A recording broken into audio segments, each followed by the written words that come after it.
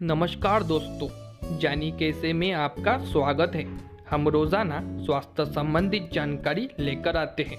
हमारे चैनल को सब्सक्राइब करना ना भूलें और साथ ही बेल आइकॉन को ज़रूर दबाएँ, जिससे कि हमारे सभी वीडियो की नोटिफिकेशन मिले आपको सबसे पहले।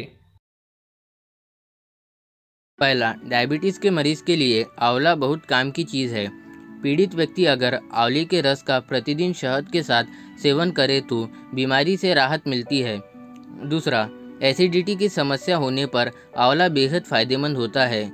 आंवले का पाउडर चीनी के साथ मिलाकर खाने या पीने से इसमें आपको राहत मिलती है।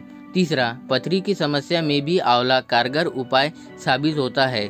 पथरी होने पर 40 दिन तक आंवले को सुखाकर उसका पाउडर बना ले और उस पाउडर को प्रतिदिन मूली के रस में मिलाकर खाए। इस प्रयोग से कुछ ही दिनों में पथरी गल जाएगी।